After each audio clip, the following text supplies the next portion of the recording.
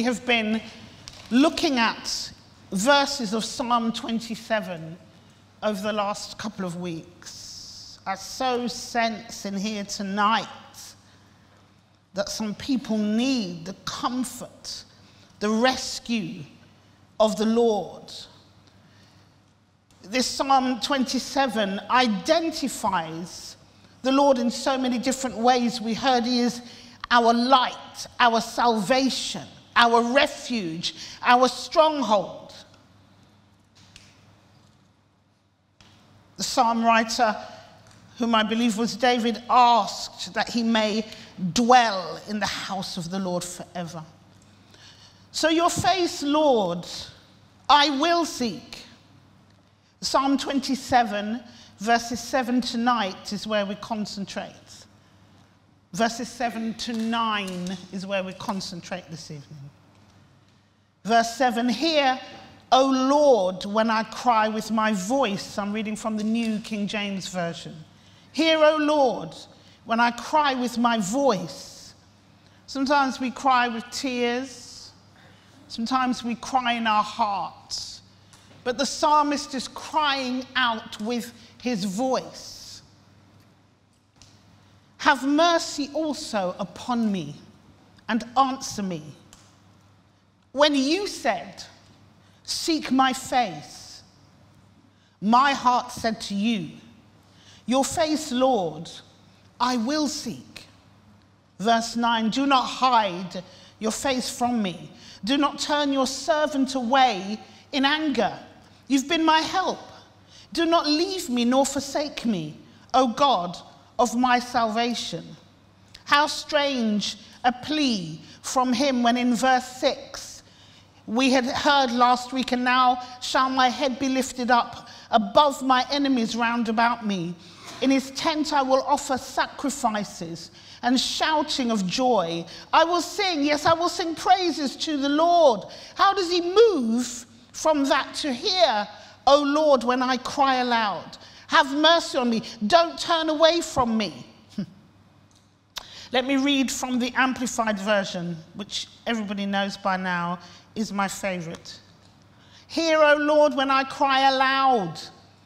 Have mercy and be gracious to me and answer me.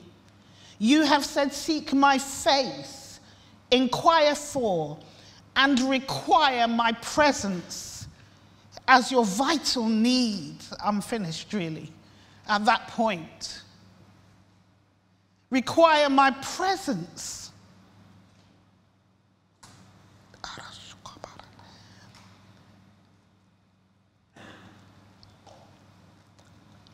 As your vital need. Do we need food to eat to sustain our bodies? Yes. Do we need water to drink to quench thirst? Yes. Do we need sleep at night so that we can function in the daytime or in the daytime and function at night if you're a night worker? Yes. Yet they're not as vital as the requirement of the presence of the Lord. I carry on in that verse. My heart says to you, Your face, your presence, Lord, will I seek.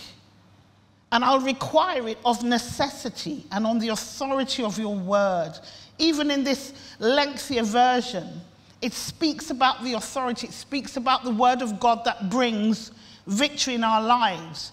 Soft words, passionate words, nice words are great, but do they have authority? Do they make a difference in our lives? When somebody pays me a compliment, it's nice. But the authority of the word is what brings victory and change in my life, nothing else. Nothing else. Verse 9 in the Amplified Hide not your face from me, turn not your servant away in anger. You, you who have been my help, cast me not off, neither forsake me, O God of my salvation. So I'm going to speak in three different sections this evening. And the first section I'm just breaking down particular words from each verse. Hear. It doesn't just mean, did you hear what I said? It means to hear intelligently. So there's a listening of what's being said and an understanding, often with implication of attention or understanding. The psalmist David is saying to God, Hear, pay attention to me, understand me. He says here, my cry. The idea of accosting a person that you've met. So, for instance, if Pastor Scott, I think he should just come up really and, and stand with here, here for me. Thank you.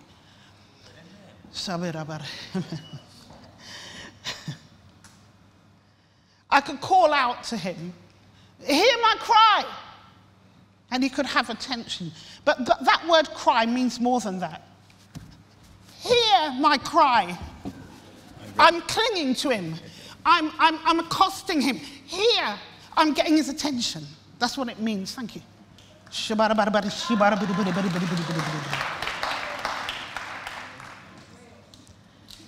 He talks about have mercy on me.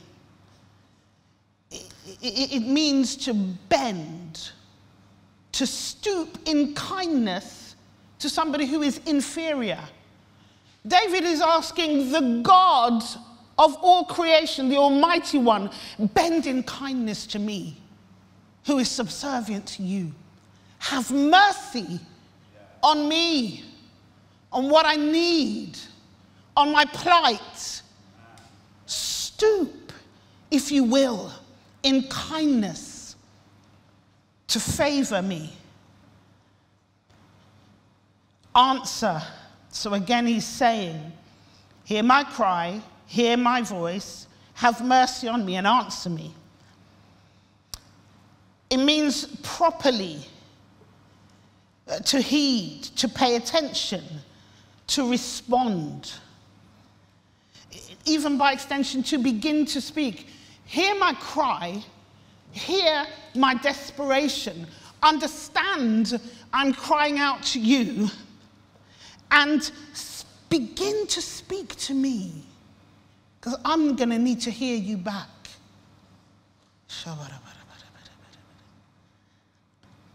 It even has the connotation of to sing or to shout or testify or announce. So, in, in those four words that I've picked out, you understand in verse 7 that David is crying out for the attention of an understanding, merciful, God who will answer. Verse 8 When you said, and some of the different versions you read say, when I said, but the, the, the, most ones that I've read, it says, when you said. So he's talking to God. When you said, seek my face, my heart said to you, your face, Lord, I will seek. Seek, to search out, by any method. But it, there's a specific here in worship or prayer.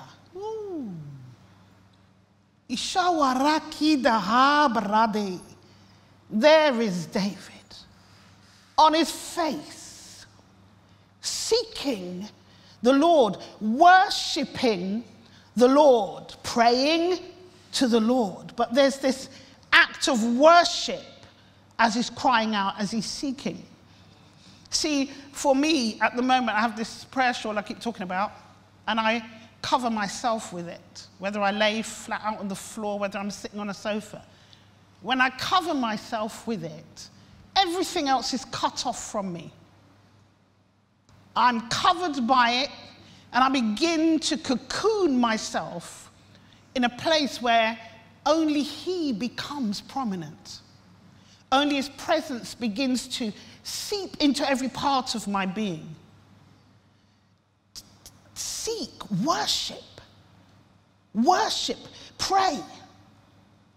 It, means to strive after, to beg, beseech, desire, like that vital need. Seek my face. What's the face of God? His presence. Many of us seek his hands. Gimme, gimme, gimme, gimme, gimme, gimme, gimme. What have you got for me? What can you do for me? David was known as a man after God's own heart. Why? Because he sought the face of God, he sought the presence of God. Nothing more. I just want to be with you. I want to dwell in your house forever. I want to see your face. He says, My heart said to you, Your face, Lord, I will seek. What is the heart? The center of everything. The center of me, David said. Everything I am seeks you, looks for your face. The very core of me is calling out to you. I want your face, Lord. I want to see you. Verse 9 Do not hide your face from me. Do not turn your servant away in anger. You've been my help. This word hide, uh, to hide by covering, be absent, conceal oneself, keep secret. Reminds me of when Jesus was on the cross and said, Why have you forsaken me? God hadn't moved anywhere, but God had covered himself from sin, which Jesus had now taken upon himself on the cross. And Jesus felt the absence of his presence. It says, You have been my help. Do you know that have been means something? When I looked it up, you, you exist.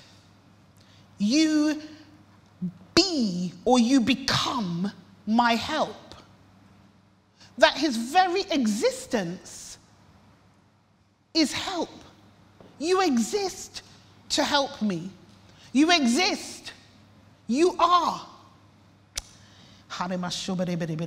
David is saying, You have consistently been my help. I know you. He says, Don't forsake me. Uh, forsake means to loosen or relinquish something that was yours.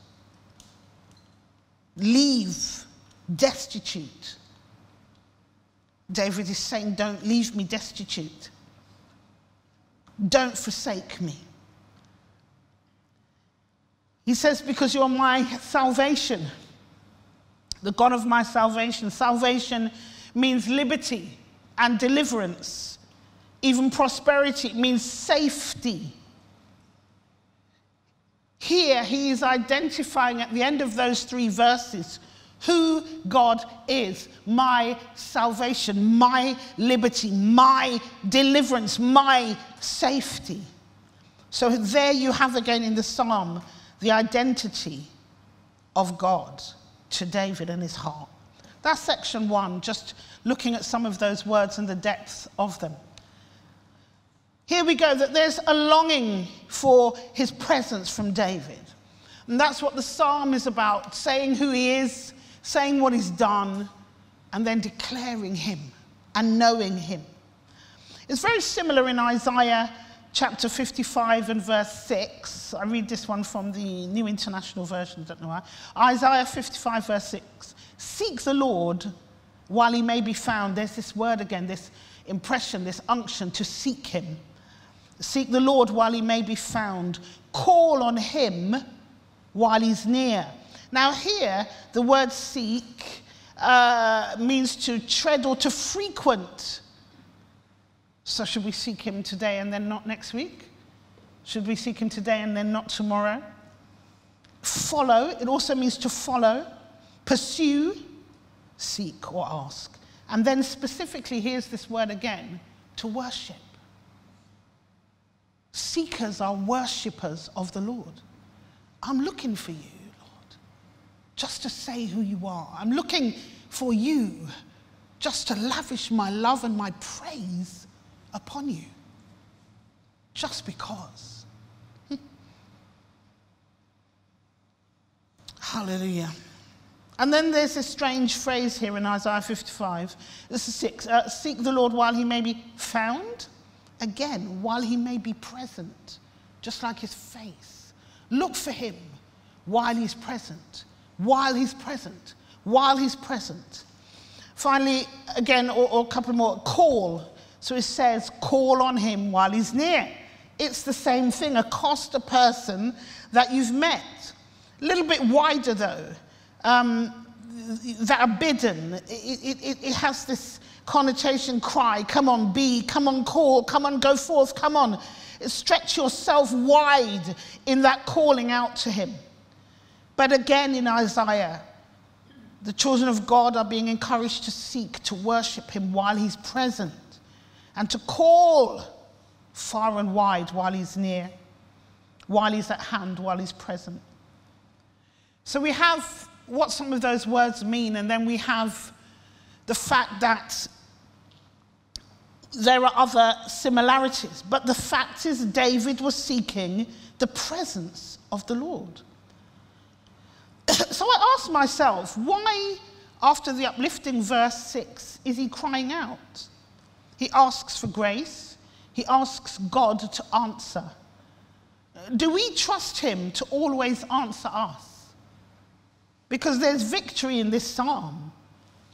But in the three verses, they are a plea it seems there's a struggle either with self or with God that David is suddenly going through. How many of us don't struggle with God at times and with ourself or our lives? Is there anxiety to be heard in this cry? What's behind it? What's David crying out for? What is he trying to get to? some of the commentaries that I was looking at, one's called Enduring Word, it said, You have been my help. Do not leave me nor forsake me. David used God's past help as a reason to ask and to expect future help. David could testify, The Lord is my light and my salvation. Whom shall I fear? Yeah, um, my soul is struggling a little bit just in this moment, and uh, uh, I'm feeling a little anxious, but in the past, I know what He's done. So I know that He's the God of my salvation. I can identify Him again ha, as the God of my salvation. I can expect His help in the future. F.B. Meyer commentary says it is a supplication, it's an ask in the middle of triumph. So the triumphant note, he says, changes to sadness. Did the writer look from his Redeemer to the winds and the waves? So was there trouble afoot? And his, he takes his eyes off the face of the Lord and looks at the troubles and the waves. Is that why the cry came? Because there was un, that unsurety. What about Peter when Jesus was walking on the water and called him to come out and, and come to him? And Peter begins to walk on the water. Imagine I'm walking on water. And then he takes his eyes off of the Lord and realizes I could sink and begins to think because he didn't continue to look at the face of the Lord, but began to be anxious, began to panic. David is experiencing that somehow in the psalm, just in the middle. Another commentary I thought was very powerful. It says, But sometimes God seems to hide his face only to draw us to a point of trust and abandonment which otherwise the soul had never dared to adopt. It comes back again and again to is he Lord of everything in our lives? Or is he just Lord of some things? Can we trust him with everything? Or can we only trust him with a little? He seems to hide his face, but surely it is to draw us to the point of trust an abandonment where we say, It's in your hands, I can't do anything about it. I have to trust you. Or could it be that God had invited David to seek him, yet there was a sense in which David felt that God was hiding from him? But David didn't become angry with God or turn against him. He may have been disappointed, but he still sought God all the more and desperately, do not leave me. Do not forsake me. Either way, the command is seek his face, not his hands. When I look again at verse 9, which is a plea not to hide his face, what did this mean to those who were reading and understanding the Psalms in those days? Note that God uses imagery of his face to show his affection, but also his presence, his nearness to his people. His face is important. When I was first born again, there were all those prayers do this for me, do that for me. Now my prayers are let me just be with you, just a touch, just a touch in your presence changes everything for me. In their presence is direction, solutions, peace.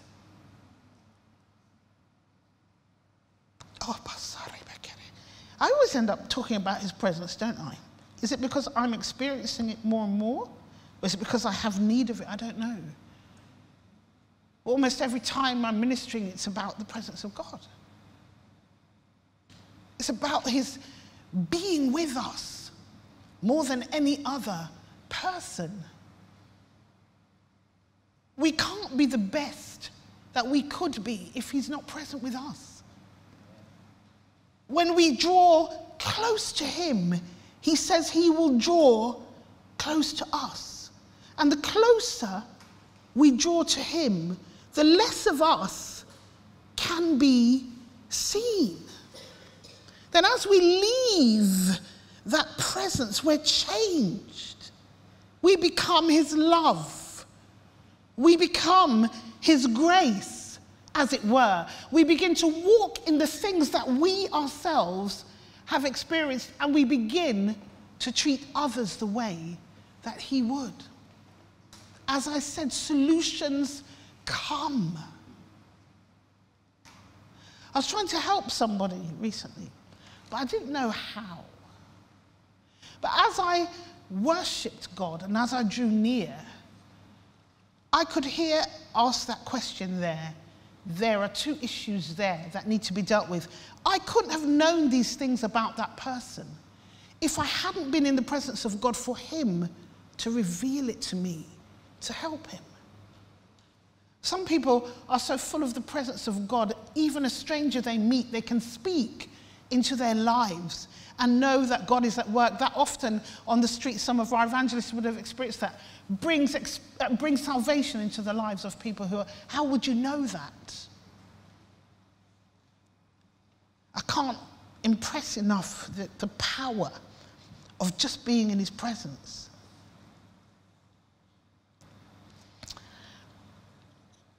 In the Bible as well, just a couple more bits from the commentaries. God's hiding or turning his face away from his people is often an act of judgment or discipline. So you can imagine the desperation in the days of uh, the Hebrews uh, don't, don't, don't, don't, don't. Uh, you, you mustn't leave me. Don't turn away from me. This means I'm in trouble with you. There is that as well. But I don't think that's what David was sensing. The idea is that God is pulling back so that people will realize they need his grace and power to seek him out. We need him. Often in the Psalms, they're crying out, How long will you hide your face from me? Don't hide from me. I need your presence. I need your presence. Last one God is hiding sometimes to pre- prevent us from finding him on our own terms. Instead, God invites all people to come out of their hiding places to seek him in the purpose of Jesus. So I could be looking for the Lord and somehow he's hiding from me because I'm coming with my plans, my control of my situation that I don't really want to give to him, and he better answer on my terms. He's going to hide because he wants us submitted to him and his will fully. He wants us to trust Him for every day of our lives and every situation in our lives